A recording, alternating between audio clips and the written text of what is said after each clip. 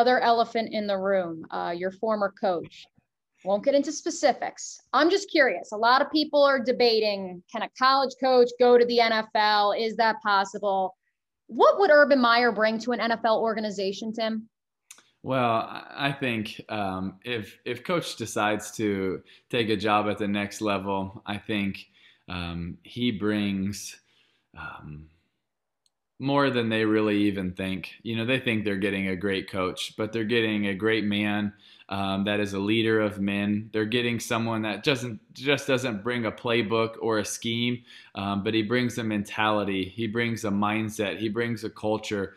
And um, you know, um, I'll support him whatever he chooses to do. Um, and um, I think if he takes the job, I think he'll he'll have success because he he's always ever since the day I met him, he's been a learner. He's been someone that's wanted to grow, to adapt. And I think that's one of the things that I admire most about him is, you know what? He was a different coach from Bowling Green to Utah, from Utah to Florida, from Florida to Ohio State. Is every year he was learning, he was finding nuggets, he was growing. And a lot of times, if hey, you win, you know, two national championships in three years, you feel feel pretty good. But you know what? Coach would never settle for that. He would always learn, learn, learn, learn. What's the best way to do it? The best way to do it. And so, you know, I think if he takes the job, he'll bring that same mindset and he'll find a way.